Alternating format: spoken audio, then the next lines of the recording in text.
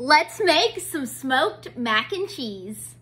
Begin by adding a pound of Velveeta and a pound of pasta shells into a foil pan. Add in four cups of milk. Go in with a can of cream of mushroom soup to add some extra creaminess.